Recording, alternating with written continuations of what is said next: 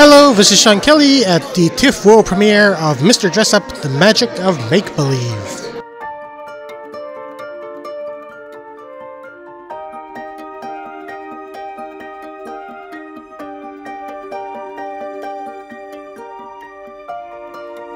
Uh, I, like uh, many, have grown up watching Mr. Dressup, so what, what was your inspirations for making this documentary?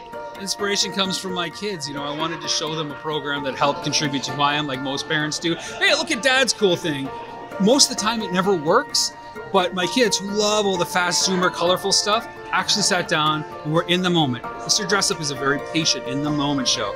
But when they were hooked, I thought, okay, we got to revisit this because it's still relevant. And then, where's the documentary?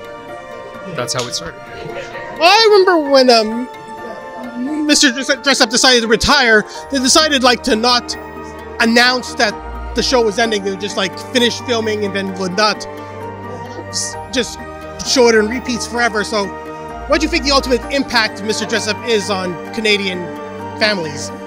You know, the show ran for 29 years, 4,000 episodes, four to five generations were impacted by his kind of like daily affirmations about kindness, creativity, and community, and the power that a costume has to transform us. Think how powerful that is for a kid, knowing that they can put on dad's old coat and become something else in a world that is very foreign to them, especially that only exists as far as the backyard. And suddenly they can take something that's ordinary and be whatever they want.